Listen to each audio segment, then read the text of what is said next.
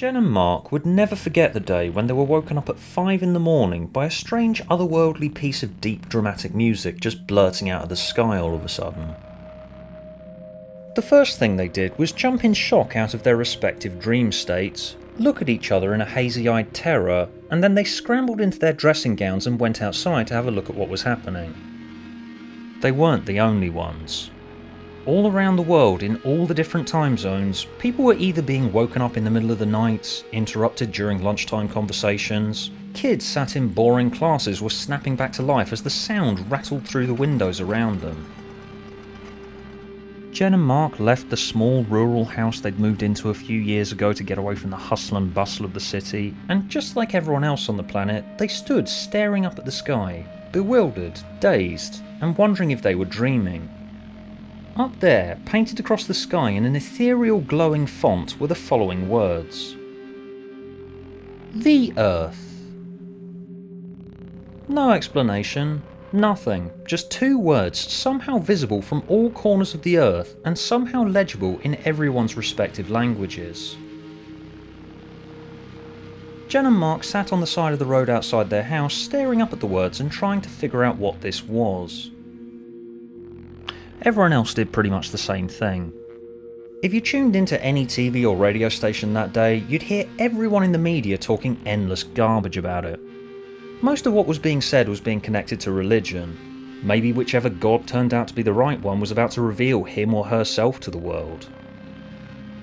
The world collectively held its breath, and then, without warning, the music suddenly came to an end. The text then began to ever so slightly inch itself upwards, and a new piece of music began to play. It was a piece that most people swore they definitely heard at least once in their lives, but no one could remember where it was from. The music was a lot more pleasant, and you could listen to it without getting a headache. The words floated upwards and started to fizzle out into the atmosphere, and then they disappeared forever. They were then followed by two smaller columns of floating words. These words weren't capitalised and were a lot harder to make out. Some people went to get binoculars so they could read them, but they found that if you looked directly at the words, when magnified, they burnt out your retinas.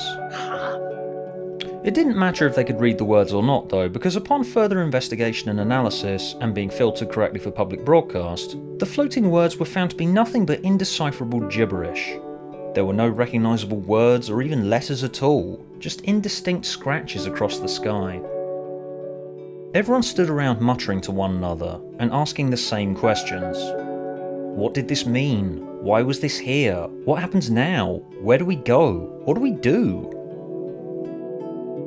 At around the end of the day, well after everyone had gotten bored of standing around debating the meaning of the floating words, people then started to wonder whether this was even anything to worry about at all. People's frail elderly relatives went back inside to have a bit of a lie down, children started playing games with each other, and friends and family were now just chatting about their daily lives.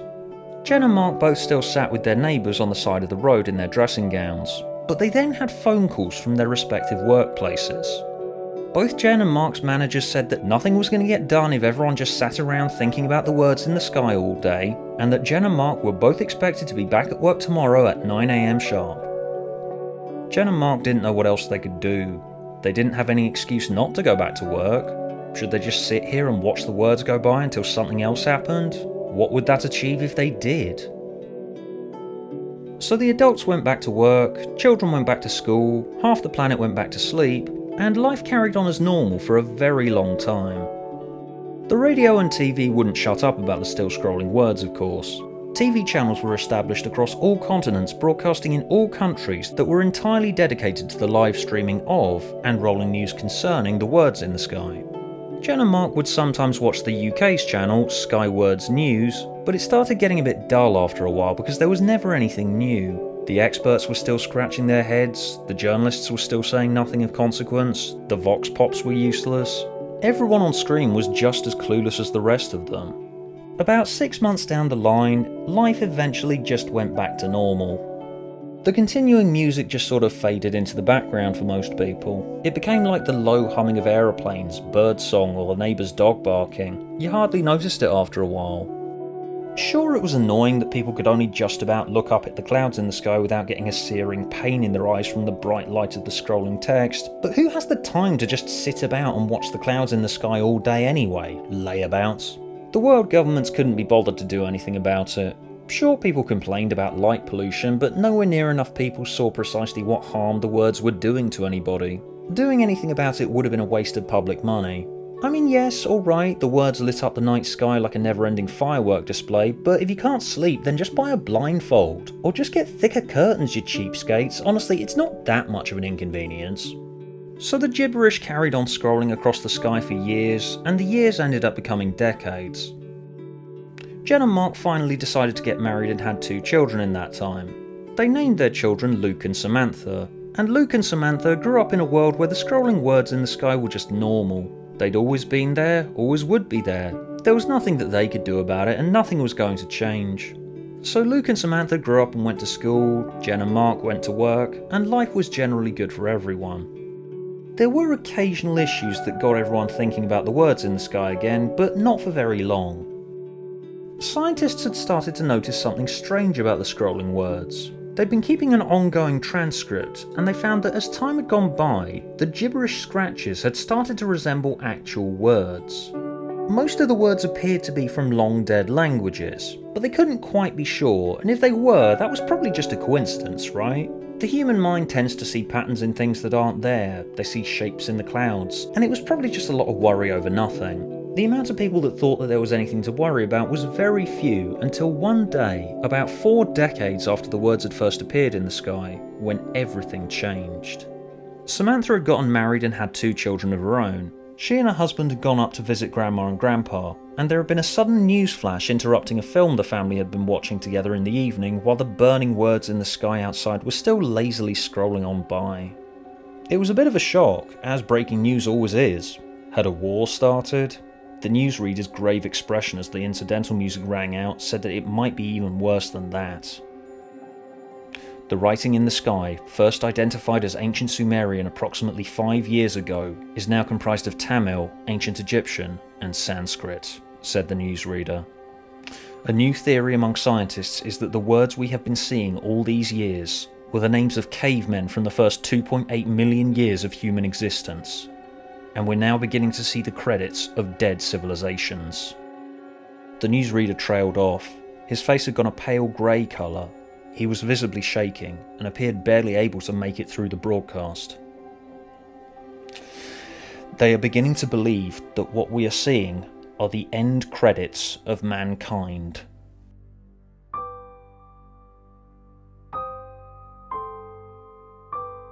Households around the world sat in stunned silence for a while. Nobody was quite sure how to react to that. Eventually, Jen, Mark, Samantha, and their grandchildren all got up and headed for the door. They stepped out into the word-lit evening and gazed up, careful to shield their eyes from the bright light of the still moving text. All of them were now thinking the same thing. Is this really happening? When am I going to see my own name or the name of someone I recognise? More questions followed, and those questions were batted back and forth through everyone's minds and all of the news channels in the months that followed. Are famous people going to have more prominence than non-famous people? Should I buy one of those adapted pairs of binoculars and spot the famous ones like Genghis Khan, Alexander the Great, Jesus, or when it gets even further down the line, John F. Kennedy, Elvis, and Martin Luther King? However, the questions then moved away from the writing in the sky and onto why the birth rate had dropped. It had been going on for many years and most people had ignored it, Statistics showed that a higher number of couples had just sort of decided on their own to not have children for whatever reason. They wanted to live their lives first. It'd be too much hassle. Maybe they'd get round to it later, if they could be bothered. Births were still going on, but infertility was on the rise as well, and doctors were struggling to explain it. Couples in a perfect bill of health would find that no matter how many times they had sex, the test would always come back negative. The global birth rate just kept getting lower and lower across the world, and last year had seen the lowest recorded figures for centuries. Until now, it had only ever been a mildly eyebrow raising set of statistics, the type of story that the papers and news channels would jabber about incessantly, but ordinary people didn't really pay much attention to because they had their own lives to lead. It was only now that people were starting to connect it to the writing in the sky. The connection was only an arbitrary one, but a theory going around was that maybe the world was being prepared for the last line in the end credits of mankind. Everyone did still get on with their daily lives, but it wasn't like it was before. This time everyone was tense and on edge, certain that the words in the sky meant something now. How much time did they have left? How long would a dead language last? Ancient Sumerian had vanished from the text a long time ago, and now it was pretty much nothing but Aramaic. Grandma Jen and Grandpa Mark had a bit of a falling out with Samantha one day when she came to visit with the kids. Samantha had been a bit angry at them for quite a while now. She kept asking them about the words in the sky. What had been going through their heads when they first saw them? Just what the hell did they think two columns of scrolling text in the sky were? Wasn't it obvious that something really ominous was happening and that they should do something about it? Just why the hell hadn't anything been done? Why didn't the government fund research into it? Why didn't you both join pressure groups? Advocate for a solution? Just who the hell decided that everyone should just carry on with their lives in spite of the fact the end credits for the human race had been scrolling across the sky for decades? Jen and Mark didn't really have much of an answer, and they got a bit defensive about it. Well, why was it up to us? Why didn't anyone else sort it out? We always thought someone else would deal with it.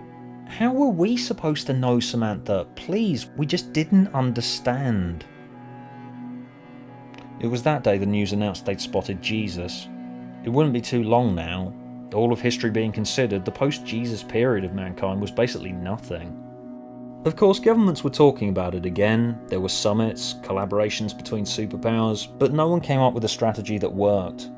Sending shuttles up to examine the words hadn't done any good, they just floated through the words as if they weren't even there. No one could identify what they were made of. It was as if they didn't exist at all. All that the space stations orbiting the Earth could do was just watch the credits scrolling across the sky and vanishing into nothingness, just like down on Earth. They were all out of ideas, the writing was on the sky. Mark died a few months after Jesus appeared in the credits. Heart attack. He was a chain smoker for most of his life, ate a lot of fatty products, and rarely exercised anymore. He was 78 years old. He and Samantha hadn't made their peace in the end, but strangely, that didn't seem to be all that tragic to Jen or to Samantha. Everyone was too preoccupied about what was going to happen when the credits reached the end to think about anything that was going on in their own lives. No babies had been born at all in the last year. Every man and woman on the planet had been made infertile somehow. Maybe the words were radioactive? Who knows? Who cares? All that mattered was the list of potential names was finite now, it was all going to come to an end eventually, and what would happen then? Would everyone left alive just suddenly drop dead? Would the world fade out of existence like at the end of a movie? Were the credits going to end by listing the production company? At least absolute proof of whether there was a god or not would be some small comfort in the Earth's final moments. After she got back from the hospital where she'd said her final goodbye, Jen sat on the side of the road where she and Mark had sat all those years ago, staring up at the writing in the sky and wondering what it all meant. His name would be scrolling up into the heavens soon, and then hers would soon follow. And as she stared up at the sky, Jen suddenly found in that moment that she wasn't worried about what would happen at the end of the credits anymore, because at least they'd be together. Jen and Mark would have peace where they were going. Everyone will have peace when the world ends.